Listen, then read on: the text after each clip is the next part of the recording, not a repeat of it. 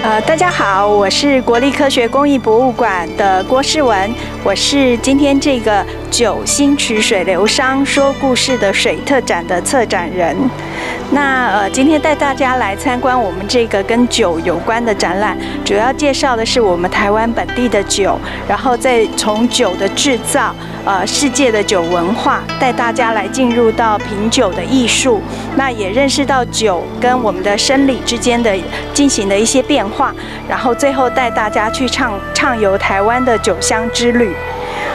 呃，接下来跟大家介绍我们展览里面比较特别的一些一些呃焦点展品。那进到我们展场的时候呢，这是一个大型的一个虚拟的呃曲水流觞。所谓曲水流觞，是中国古代文人雅士所流行的一个呃饮酒游戏。他们会在流水的上游放上酒杯，在酒杯里面斟满斟满酒，然后呢，让这个酒杯漂流到你的面前，飘到谁的面前，把这个酒拿起来喝完以后，就要做一首诗。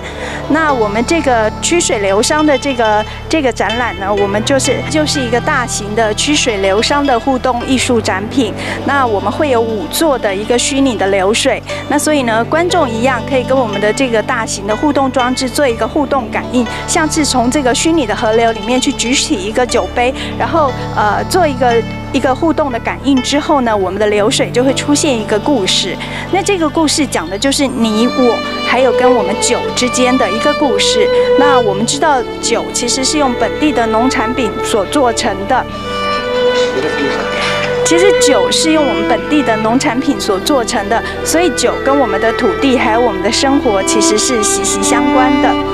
那展览中呢，分为五个部分。第一个部分介绍的是酒的制造。那我们来告诉大家酒是怎么样做成的。其中很特殊的是，我们每个礼拜都会酿一坛的葡萄酒，让大家在观察这个葡萄酒的制造过程，它的变化。那酒在呃发酵的过程中会吐出二氧化碳，所以在我们的展览当中呢，你可以去观察到酒的呼吸啊，你可以透过一个呃我们的一个实验装置来看到。呃，葡萄正在呼吸。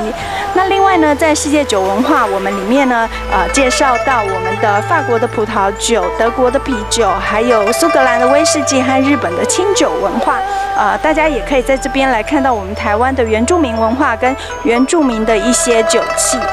那在品酒区呢，我们比较特殊的是设置了一个呃气味体验的装置，大家可以透过这些气味体验装置，呃，来认识到各种酒的主体香气。同时，我们也做了一个简单的品酒区，那大家可以戴上耳机来接受语音导览，学习如何品评一个美丽的酒。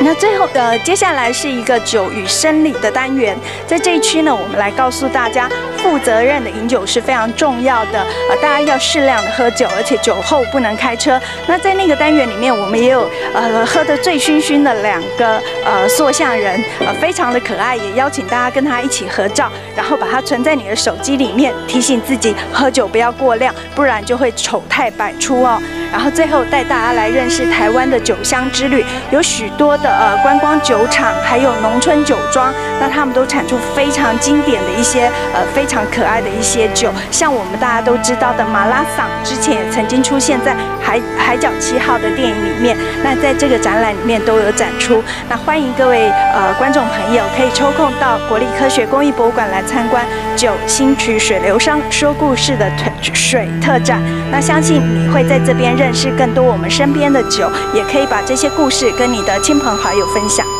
谢谢。